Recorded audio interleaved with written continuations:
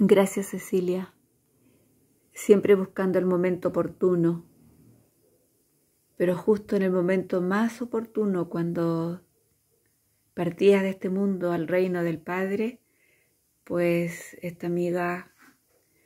mi hermana, mi amiga del alma, pues no estuve ahí a tu lado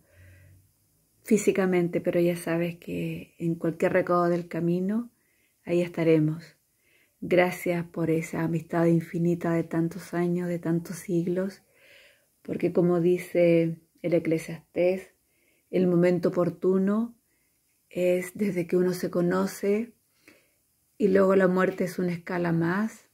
para encontrarnos en la, en la vida eterna, aquella que no tiene fin. Como dice el libro, todo tiene su momento y cada cosa su tiempo bajo el cielo tiempo para nacer y tiempo de morir, tiempo de arrancar y tiempo de plantar, tiempo de curar, tiempo de destruir, tiempo de construir, tiempo de llorar y tiempo de reír, tiempo para hacer duelo y tiempo de bailar, tiempo de tirar piedras y recogerlas, tiempo de abrazarlas y sepultarse, tiempo de buscar y tiempo de perder,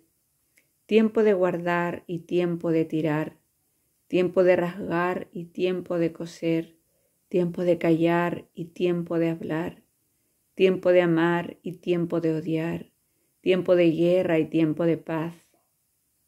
¿Qué aprovecho, qué provecho saca el que se afana de sus fatigas? He observado la tarea que Dios impone a los hombres para que se ocupen de ellas. Todo lo hizo hermoso a su tiempo e hizo florecer e hizo reflexionar al hombre, a la humanidad sobre la eternidad, pero la humanidad no llegará a desentrañar totalmente la obra de Dios y comprendí que la única felicidad de la humanidad consiste en alegrarse y disfrutar de la vida, ya que también es don de Dios que el ser humano, la humanidad, coma, beba y disfrute de su trabajo.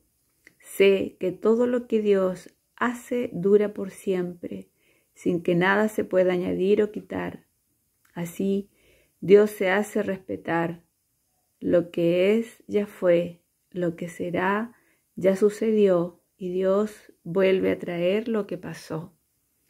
Pues con esas palabras quiero darte las gracias por tu vida extraordinaria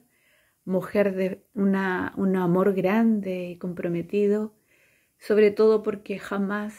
te hiciste peso de nadie, cargaste con tu propia vida, tu historia, tus circunstancias y siempre pusiste la cuota de paz, como decías tú, hay que devolver amor, bofetada de amor, hay que devolver sonrisa, hay que acoger a aquellos que sufren y se sienten eh, desacompañados y desdichados con nuestra cuota de amor. Gracias, si tu ejemplo es eterno,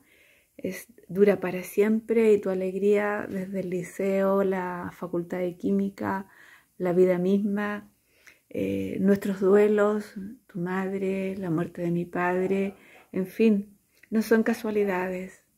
son las oportunidades que tuvimos de crecer en lo que es fraternidad, amistad.